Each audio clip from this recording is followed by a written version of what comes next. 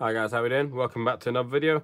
Bit of a throwback for people that used to watch my channel um, a few years ago now. I went to the car boot sale this morning and I managed to pick up this bad boy. So this is an Allen Bradley CPU and SL503, which I looked at it and I thought, oh, this is an old Allen Bradley PLC. How old is it? And I thought maybe like 2010 or something.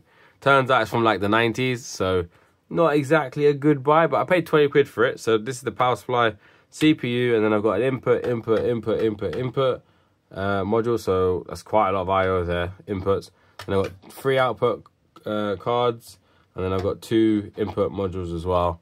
And then further down here, I've got some spare.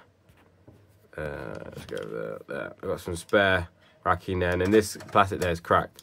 So what I did was, I thought I won't do a video on this. I'll just I bought it um, actually so I could list it um, on eBay. So I just I got I bought it for 20 quid and I thought, all right, I'll just chuck it on eBay, probably sell it for 100, 200 quid, something like that, and just kind of get rid because it's an old Allen Bradley PLC. You know, it's not not something I'm ever going to program. I have looked into how do I program it, and it's kind of a, not, a nonsense ball ache where um, there it's got an RJ45 port, but this is not Ethernet. This is um, DH485. So instead of RS485, it's DH Digital Highway 485. So you need some digital highway converter to USB. It's got RS232, so I think you could program it via that as well. So this is the CPU module. This is essentially like the ET200 SP rack. Anyway, so what I did was I thought, okay, let me just power it up. So this is the PLC, this is the CPU, the, the power supply, the PSU. Um, there's the uh, like writing layout for how to wire it, I guess. So 24 volt out, and then um, 230 volts in. So that this was all plugged in, slotted in like that, and wired in. And then I turned it on, and it had this RS chunky um, 15 amp fuse. So 15 amp, 415. I actually thought it was a 3 amp fuse, but I've I read it wrong. T3 15 amp, 415 volts. So I've actually just put the wrong fuse in. I put a 3 amp fuse. So okay, I'll, I'll take that. But anyways, I turned it on, and then it went pop and this fuse blew. And I was like, what? So the lights lit up, the CPU program started, and then I'm guessing it must have fired an output or something that then shorted the power supply somehow. So maybe one of these, because again, this is from a car boot sale. So the guy I actually bought it from, he was an electrician um, at a panel building company, and I think they took this out of a rig. What's interesting is when you look at the date there, date installed uh, October 2017. So that's not exactly um, I mean, it's eight years ago. But for PLCs from the 1990s, why would you have that installed 2017? Again, unless maybe it was installed in the 90s or to early 2000s and then died, and then someone had to buy a new one and installed this one. So this one's been running for probably like six, seven, eight years, and now they've ripped it out. So, anyways, the fuse blew, so I need to put in a, an appropriate 15 amp fuse again. Um, so I've taken off the power supply, and I thought maybe something downstream has killed it. So let me see if I can just power on this power supply and see if it works. And then power on just the CPU, see if that works, and then go from there. Um, I have noticed, so this is, everything's quite exposed. In the 90s, kind of, you know, nothing's really SMD. So it's all kind of through hole. So you've got a little selector switch there. So what I want to do is I want to turn this on and see if it works. I need to obviously make sure I don't touch any of this board because all of this is probably 230 volts. Apart from maybe like, so it looks like you got power main power circuits here and then I guess you've got 24 volt stuff going on here with the smaller uh, components there. But if you look there that seems to be a little bit burnt out to me. Now that could be related to my issue of the fuse popping or not. It looks like when I look there I've got a big chunky power resistor there so I might stick my meter across there and see if I can replace that. I don't know. Um, it also seemed to have somewhat of a fried transistor or something in there um, I don't know. I don't know how much I want to delve into this. To in order to get this, I can I can get this whole uh, PCB exposed uh, by taking off these four screws, which I might end up doing. I don't know. For now, let me just replace this fuse because I put incorrectly put the a three amp fuse in there. I'll put in a 13 amp fuse. I think it's supposed to be 15. Put in a 13 amp fuse there, and then we'll try to turn it on and see what happens. So bear with me.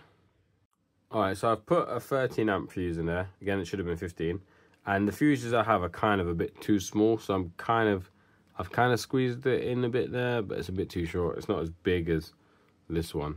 Um, so I'm going to turn it on. I suspect it's just going to work because um, it powered on the CPU and I saw the lights start to go on and then it blew the fuse. So um, I'm guessing an output is fired. So what I'll do is let's turn this on, see if it works. And then after that, I'll try and disconnect more things downstream and then just see if we can get a consistent voltage on the power supply and then on the CPU. And if I can get the CPU to stay on, that would be a big win for me. So I can see the power supply is red at the moment.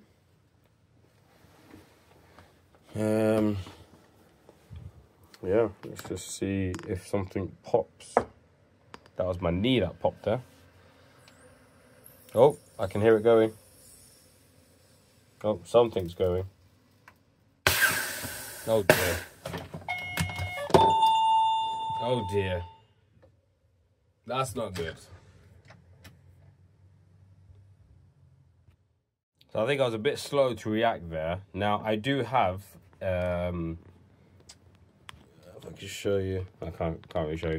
I do have uh, a loft window right like literally half a meter that way. So I've got that open. You can see it's pulling the smoke out. So my thankfully my whole room and attic is not covered in smoke.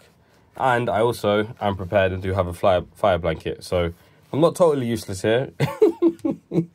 but that is crazy. So it is definitely either I'm an idiot and I've wired that in wrong. I have unplugged the thing now. So that is unplugged. Um, either I'm an idiot and I've wired that wrong which according to that schematic, I think I've wired correctly. Um, or obviously it was it was interesting, right? So something popped, probably a capacitor. Um, I'm not gonna mess about with this anymore. I might, maybe, I might just try to look at the board just to see exactly what popped. But I think what I might do is I might try go online and see if I can get one of these power supplies that work. But yeah, I mean it's literally still smoking. That is a hell of a lot of magic smoke, which again would just be a capacitor, I guess, that blew. So yeah, buying stuff from a car boot sale. Quite interesting, eh? I'm going to try and open it now, but I do find it quite funny that this has never happened to me with a Siemens power supply. Now, I've had a lot of Siemens power supplies in my time, and um, for example, I've got this. These ones are incredible, and then I've also got um, where's my older one? Don't know where it is. But I've got some old Siemens power supplies and many of them have died. Like I've had a lot of Siemens power supplies died, but I've never had one blow like that. And so, yeah, American safety standards, eh? You Americans. It's just funny that the first time I have a massive, is that still smoking? Yeah, it's funny that the first time I have something blow up in my house, it's a bloody American product. Ugh, I'm trying to, I got one of these screws out. I'd like to have it. I'd like to have a look at what cap blew. I, I think I, I'm not skilled enough to be able to, um, to repair a, uh, a power supply. Like power electronics oh my glasses come off. Power electronics is not my realm at all. Um so yeah. All right last screw coming out. So i'm pretty scared of capacitors. So i mean i, I think oh i can actually see look that's a bit of it there.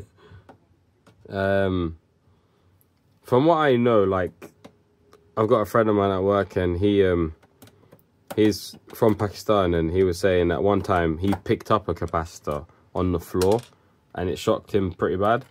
And it's quite interesting that capacitors can hold charge for a very long time. So I'm always very skeptical of capacitors. So let's have a look at the board.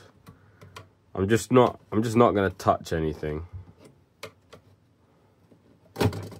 And I've, like I said, obviously it's all unpo un un unpowered now there's not nothing connected to it so nothing should blow but i keep one of these next to me at all times i've never even come close to needing it on any one of my videos and i've done a hell of a lot of videos and that was that was the closest I've ever come to.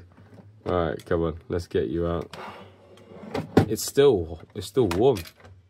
All right, I got it out. I mean, his brain, his brains are splattered on there, which is funny. All right, cool. Let's have a look. So, I mean, which one popped? It looks, I guess that. Or that. I don't really know. One of these two popped. Um, you know, one one thing I've realized is, or one thing I'm thinking is, more than likely because the original fuse popped. So this is the original fuse when I when I turned it on. So there's probably already a fault with the power supply, probably because it'd been sitting in a car boot cell or something, you know, gotten wet or whatever, or hasn't been stored properly or whatever happened. And so this fuse, it says on it T3, which I thought was a type of fuse, comma 15 amps. Now, is that T3 15 amps or is that T 3.15 amps? Surely that's not T 3.15 amps. I don't know why, but originally I read it as 3 amps and I put a 3 amp fuse in as, as you saw in the beginning of the video. And then I replaced it with a 13 amp. And I feel like had it just been a 3 amp, it would have just popped again. And then I could have diagnosed what the fault was with the power supply that was causing it to pop, where there was a short circuit or whatever. So now you know that option's that's just not that's just not an option anymore so i think i will just bin this um i'm not about to start replacing some capacitors or whatnot and then bloody realizing that um there's still a fault with it so i'll go online now and see how much uh this power supply is and then we'll see what we can do ah Lovely jubblies, eh? Lovely jubblies. Anyways, all right. Uh, yeah, let me quickly check online. All right, so I'm giving up for now. Uh, I've had a quick look on eBay, and the cheapest one is 60 quid, which I'm not going to do. And I'm not going to repair this thing. So, um, yeah, I'm not gonna I'm not gonna repair this thing.